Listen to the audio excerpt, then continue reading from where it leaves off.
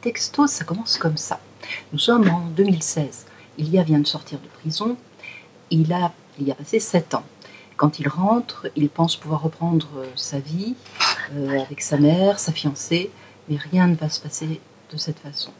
Quand il arrive, sa mère est morte depuis deux jours et sa fiancée lui tourne le dos. Il est tellement désespéré qu'il retrouve le policier qu'il a mis en prison et il le tue. Et là, c'est une catastrophe. Tout ce qu'il avait prévu va, ne pourra plus se passer. À partir de là, il récupère le téléphone du policier. Alors, je ne vous explique pas les histoires techniques pour comment il arrive à, y entrer, puisque vous le verrez dans le livre très rapidement. Euh, et, là, euh, son idée, c'est au moins, lui qui n'a plus d'argent, plus rien, de trouver une sépulture correcte pour sa mère en récupérant de l'argent euh, grâce au trafic de ce policier véreux. Et donc, il va se servir de ses téléphones et des textos pour se faire passer pour lui. Mais jusqu'où peut-il aller sans se perdre dans cette histoire?